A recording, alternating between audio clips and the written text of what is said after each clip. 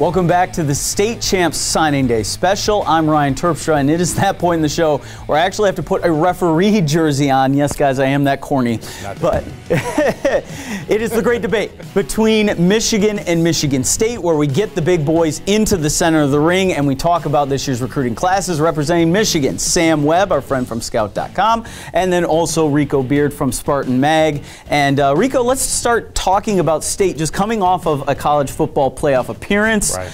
How's the momentum been going in East Lansing? I mean, the momentum is pretty good. They just got to decide who's going to be the starting quarterback between Tyler O'Connor and Damion Terry. Are they going to platoon it the way they did at the Ohio State game? But uh, looking at Mark Dantonio's uh, past history with quarterbacks, I don't think there's that big of a thing. He's put Brian Hoyer in the league. He's put Kirk Cousins. He's about to put Connor Cook. So I think he'll pick the right guy, and they'll keep the they'll keep the party going. Now on the Michigan side of things, Sam finished with a big bowl win over Florida, and also Jim Harbaugh's first full class. What are you seeing so far this offseason? Yeah, I think uh, Michigan is riding some great momentum into the offseason. They have some uncertainty at quarterback, but you have the quarterback whisperer as your head football coach. So it almost really doesn't matter. A lot of people think it's going to be O'Korn, but uh, John O'Korn, but I think uh, whoever they put back there at quarterback, Michigan expects to pick up right where they left off. Well, let's talk about some guys already in the respective classes, the early enrollees. There's a lot on both sides. And uh, for Michigan State, Rico, a guy right here from in the state of Michigan, Donnie Corley is the headliner who's already on campus. Yeah, Donnie Corley uh, committed at the Army All-American game, and I look for him to be playing immediately. May even see a little bit on both sides of the ball. I mean, if you saw the state championship game when King won, he got the game-winning touchdown. I mean, 59 receptions, uh, 16 touchdowns, 1,400 yards, plus he had 90 tackles, 10 uh, interceptions on defense. So Donnie is definitely going to see some action early, along with Cam Chambers, the other wide receiver who played in the Army All American game. We've seen a few guys make it to Ann Arbor that could be in the mix. Sam, who are some names for us to watch for? Well, you certainly got to start with Kareem Walker, uh, the, uh, the five star running back from DePaul Catholic in Wayne, New Jersey. Uh, you know, Michigan uh, was running back by committee last year. No one really solidified, no, really, no one really locked down that position. So as an early enrollee, getting a chance to go through spring ball is really going to help him. He's not a speed burner, really tough, physical back, a one cut and go guy, between the tackles guy. He can go the distance from 50 or 60. All right, guys, this is the point in the segment where we get into a little bit of a debate because both schools have early enrollee quarterbacks, and Messiah DeWeaver was at one point a Michigan commit. Now he's in East Lansing, Rico. Tell us why he is such a great get for Mark Dantonio. Well, you know, Messiah DeWeaver, I guess, was ahead of the curve. He, he left before the scholarship got pulled. but he comes to Michigan State, and you're looking at a kid who, over his career, thrown for like 7,600 yards, 90 touchdowns, 49 and 9 career record. Uh, the beauty of Messiah is he's going to be able to sit. I don't.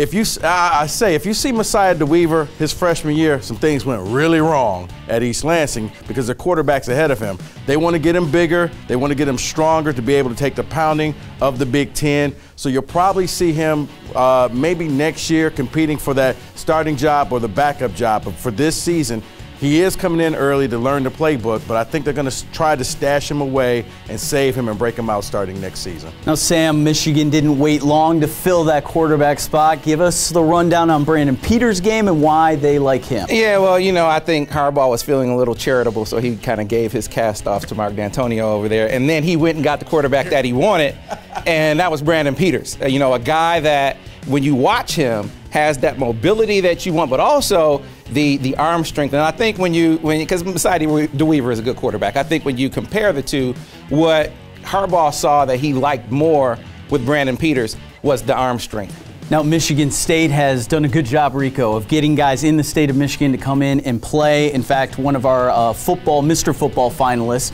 Trishton Jackson, is part of this class. Tell us a little bit about some of the guys from Michigan that Mark Dantonio is recruiting. Well, uh, Mark Dantonio has brought in four, I call them super wide receivers. I mean, four four-star kids, Donnie Corley.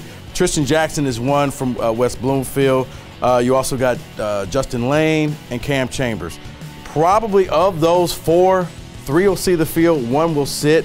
Now, unfortunately, Trishton and Justin Layne are going to be coming in in the summertime, so we're going to see. But Trishton, I, I like, he, in the end, may be the best of all the receivers. He really, he, he played more of the quarterback in high school, but I think once he locks down and just becomes a wide receiver and really learns how to run routes and do all those things, He is going to be really good. He's going to he's a guy that I think is going to pay off major dividends come year three, four, and five. Demetric Vance is a guy that from Cass Tech, he's going to play immediately. I don't see a red shirt on him.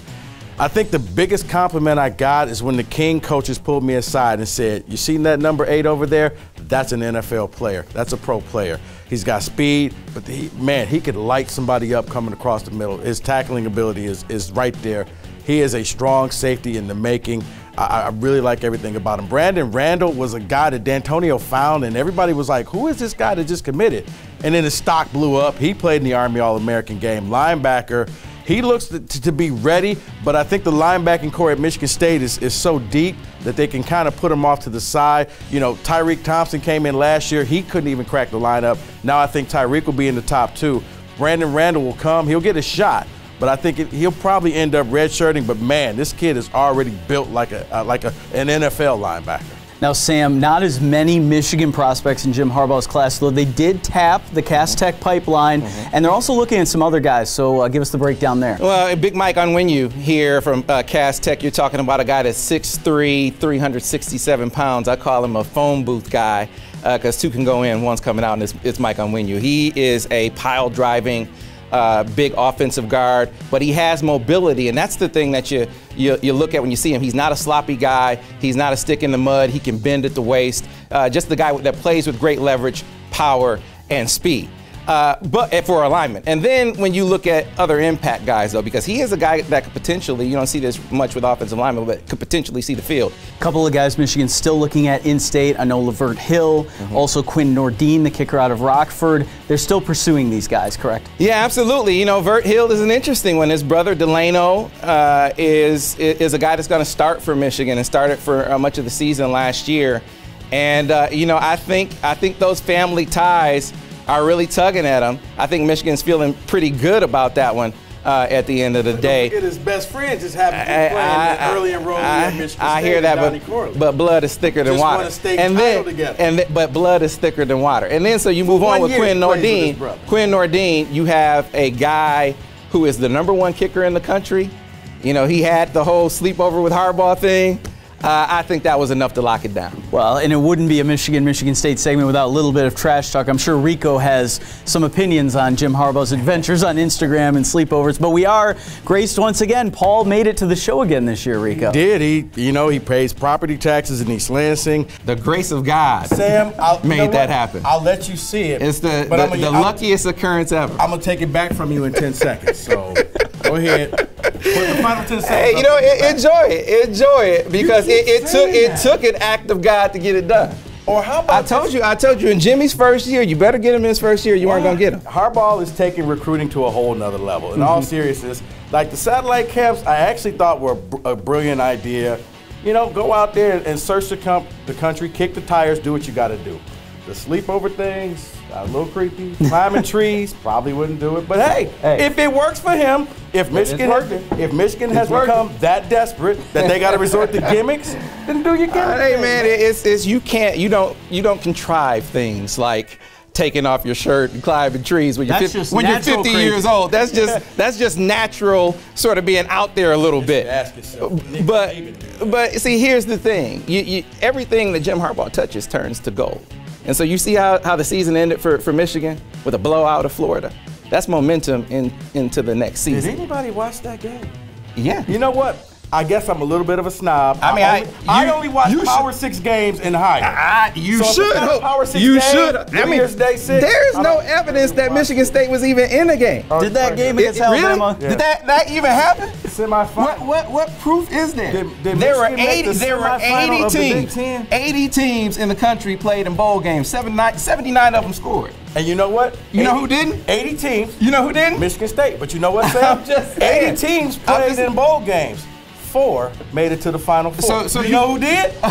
Oh, you know so, who did? So getting there, getting there is good enough for Michigan State, is what you're saying. They were there. Michigan know that the Big Ten championship game is Hey, in yeah, they absolutely they know. We're in Indianapolis. It's a that's a dubious distinction. I'm so tired. I That's may a not that's go a dubious distinction. I I'm just. I've I'm just saying. times out of five. I'm just saying. I just One's a All right, the Rolls Royce. calling. One's the, The price of 300. Now, I need a prediction from each side in terms of what you think from this class, whether it's where Michigan or Michigan State did especially well, what you're looking forward to coming up for 2016. Rico, we'll begin with you. Uh, the wide receivers. I think Michigan State, in losing so many receivers, that's who I'm looking at. Uh, Donnie Corley uh, specifically to step in there and be an impact guy. All right, Sam, what are you thinking on Michigan side? You know, I think for Michigan, the big key, getting some receiver help because you are going to have a couple of receivers graduating after this year. I think they really wanted some more on field dynamism. They're accomplishing that with this recruiting class.